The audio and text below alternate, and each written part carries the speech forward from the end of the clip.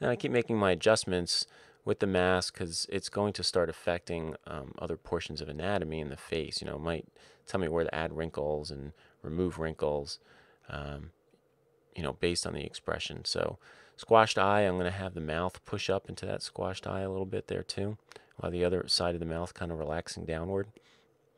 So the mask changes there also, right? It looks more like that. All right, let's just block in his nose here really quick. Something like that. Okay. There's this bridge of his nose, on top of his head.